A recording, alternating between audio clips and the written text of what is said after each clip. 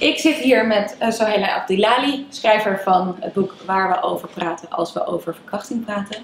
En um, I'm gonna switch to English now to tell you uh, firstly how um, impressed I am by your book. And um, uh, it's it's not just the fact that you are um, talking about uh, rape, which is something uh, often people don't want to talk about or don't dare to talk about or can't even talk about, mm-hmm. but it's also the way you do talk about it. It's not just talking, but it's it's researching. It's trying to understand what we're actually talking about in a very fearless, well thought, balanced, nuanced way.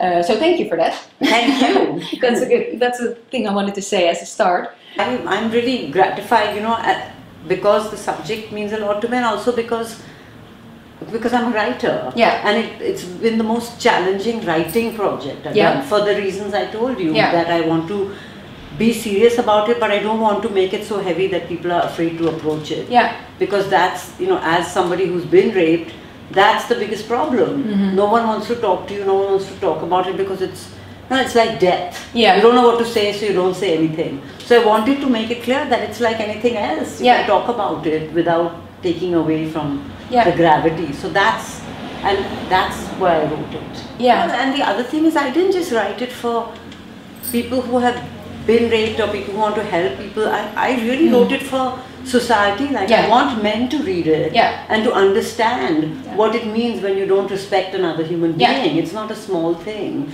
And for parents to understand that it's not like some big mystery. What do we do to stop this crime? You treat your boys and girls the same. Yeah. I mean, it's not such a big deal. I love that, and also because it makes that it's not just about rape, and rape is not an a, a tiny part of society. No, it's about your book is about the society as a whole and the way we think about.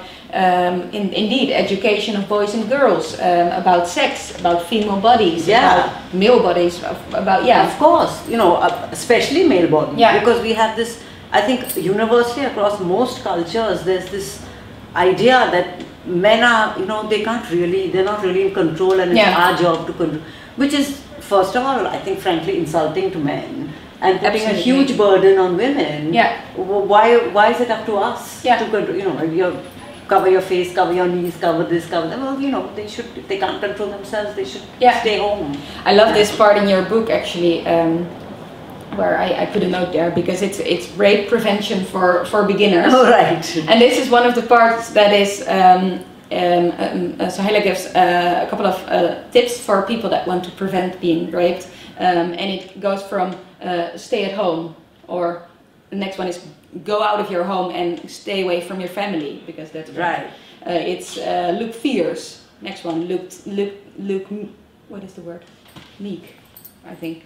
Oh, I don't Anyway, be loud and be soft. It's all those conflicting Yeah. things because you know we we we we, we I don't know. It's, It's not up to us. no, Yeah. and um, I think this is very strong in um, that as a woman you can actually never do it right because it's not. You're not the us. one committing the Yeah. crime. Man, my last point is die. Yeah, exactly. Because, yeah, Yeah. because that's the only way you can really prevent being raped is not to be there. which is yeah yeah and and this is one of the parts where you are where for me as a reader i was sort of laughing Yeah. because it's written in a light-hearted way but it's of course very serious as well Well, it's funny because when I remember writing that, and I did, I, I didn't even think it was going to be in the book. I was just one day, you know, doing this, and I, I, it was funny, and then suddenly it wasn't funny. Mhm. So.